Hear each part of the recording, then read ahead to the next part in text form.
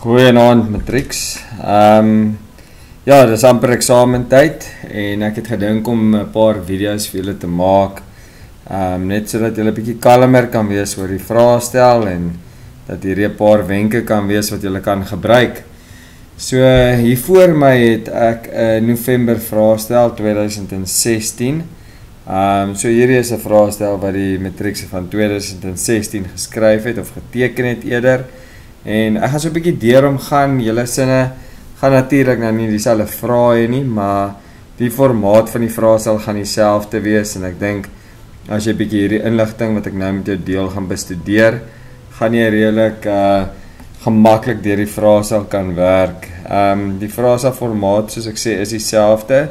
En baie van die vrae en die tips wat ek jou gaan gee, as jy dit volg en goed, kan jy 'n paar punte kry. Ehm um, en 'n paar foute dalk uitkanselleer. So kom ons kyk gou-gou hierso eerste na wat het ons as ons so eerste eerste op eerste aanslag na 'n vraestel kyk is ehm um, 'n natuurlike area waar jou eksamennommer invul.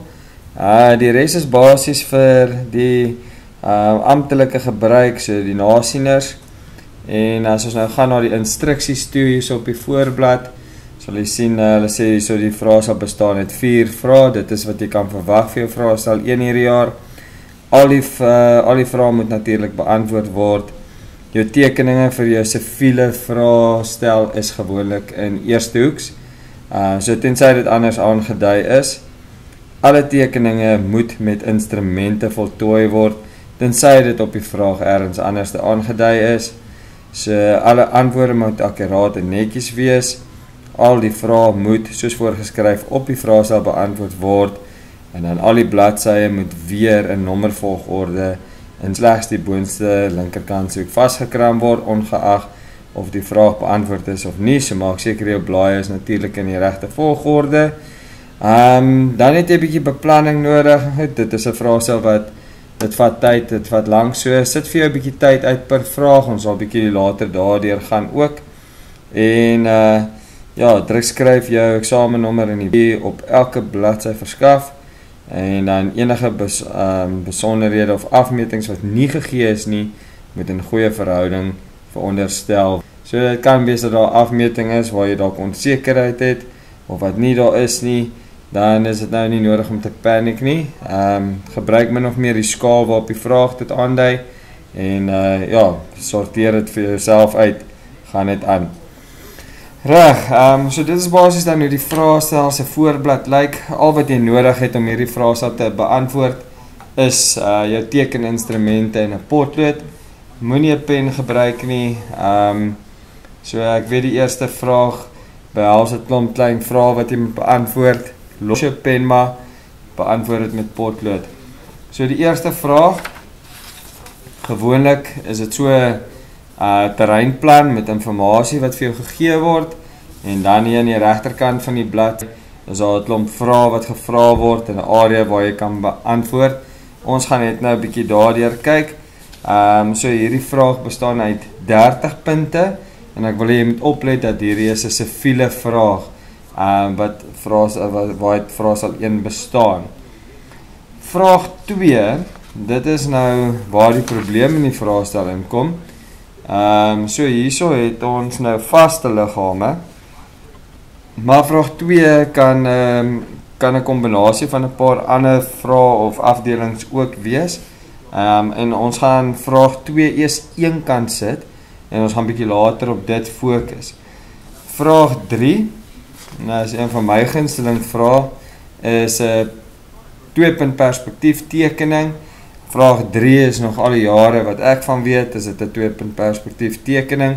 So dit is natuurlik 'n tekening waarop jy 'n bietjie aandag moet gee en daar is 'n paar punte wat 'n mens nie kan bekostig om te verloor as dit kom by die twee punt perspektief nie. Hierdie vraag betel uit 40 punte. En dan het ons ons laaste vraag Ehm um, dit lyk gewoonlik moeilik as 'n mens so na die bladsy kyk. Dis besig en is baie inligting, maar dit is juis die geheim. Jy moenie jouself laat afskryf, skrik deur al hierdie inligting nie. Eintlik is hierdie vraag 'n baie maklike vraag.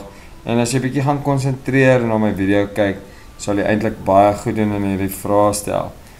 Die laaste vraag hierso of skus is uh nog steeds is se veel as ons nou na sy antwoordblad kyk, dan uh, raak dit al klaar makliker as 'n mens sien dat die vloerplan is eintlik al klaar vir jou geteken en hulle dui aan waar jou snit gaan geteken word.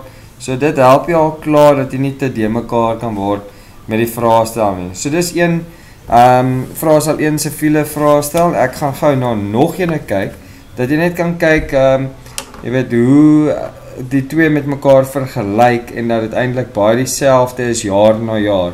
So hierdie was 'n 2016 vraestel en ek gaan bietjie later bietjie van die vrae op hom beantwoord. Ehm um, vir die volgende vraestel, sy voorblad het nou nie lekker uitgekom nie, maar dis dieselfde storie. Ehm um, ek weet nie wat het hier fout gegaan met die printer nie. Maar as ons nou hier gaan kyk, ehm um, dan som hier so kyk, dit is sy 2015, soos die jaar net voor die ander ene. Ehm um, ook 'n file terreinplan wat gegee word. Hier's 'n blokkie waar mense iets moet teken en dan is daar 'n paar vrae wat uh, gevra word wat jy dan moet beantwoord.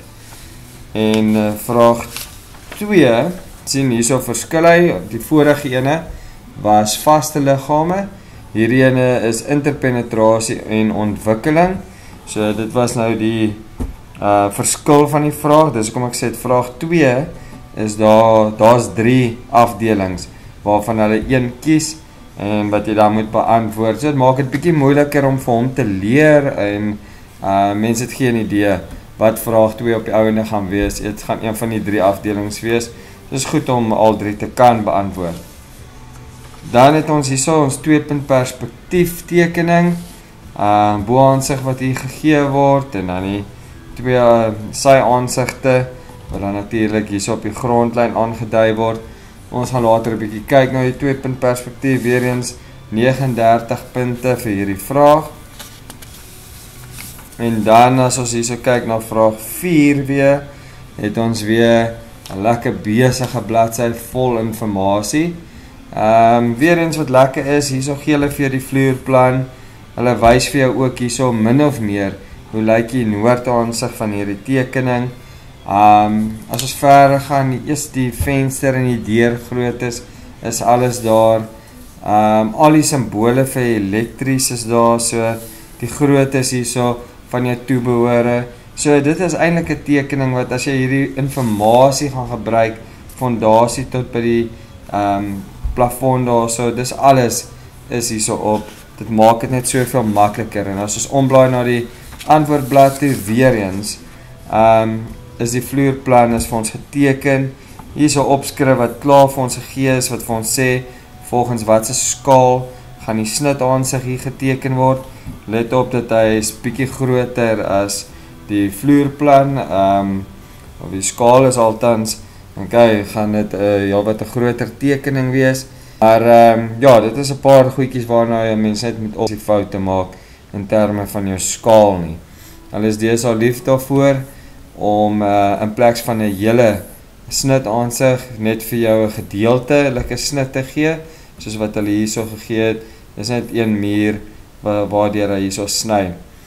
Ehm um, nou ja, as ons gou-gou net kyk hierso na die punte van die siviel, dan uh, sal jy sien dat hierdie vraag hierso tel uh, 96 punte en saam met vraag 1 wat ook natuurlik 'n siviele vraag is.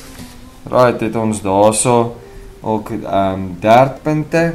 So jou hele vraestel wat hy 200 tel, ehm um, is die siviele gedeelte tel min of meer hierso by die 126 punte. So dit is nogal 'n area wat ek dink 'n ou op moet fokus is die siviele afdeling. Right, in die volgende video gaan ek um begin om bietjie die uh vraag 1 die analities bietjie te verduidelik en uh hopelik kan ek jou bietjie help en wys maak daaroor.